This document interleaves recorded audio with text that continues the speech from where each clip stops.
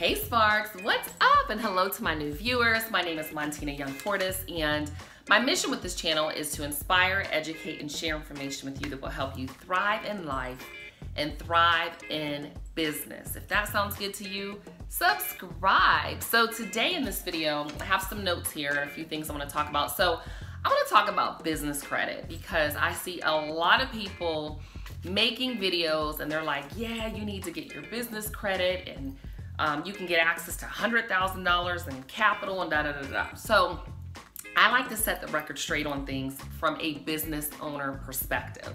I run a video production and creative marketing agency, and our goal is with an R3 system, we call it. Our goal is to help our clients reach more of their ideal clients, retain more business, and generate more referrals using videos to market their products and services. I have employees. I've been in business six years. I have an office, actually have three offices. So I'm telling you from a business owner perspective, and I'm doing this full time. I've done it full time for five years. You can have amazing personal credit.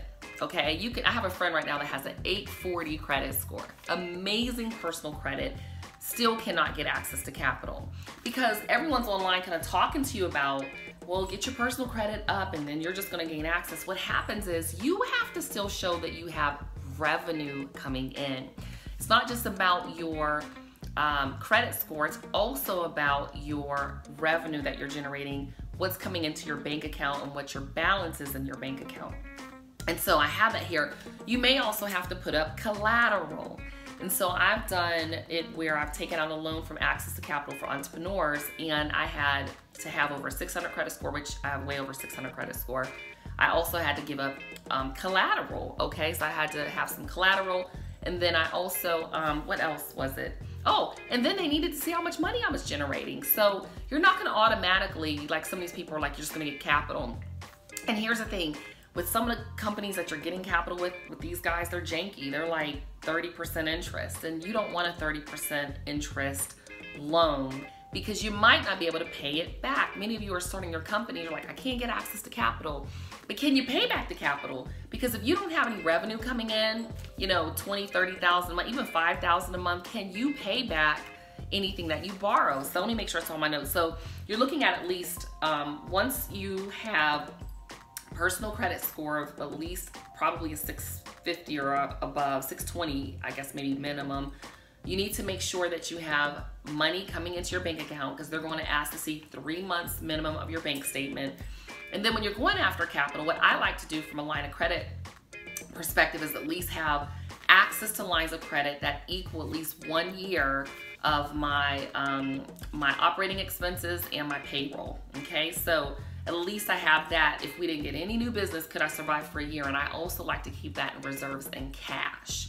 So cash reserves and access to lines of credit.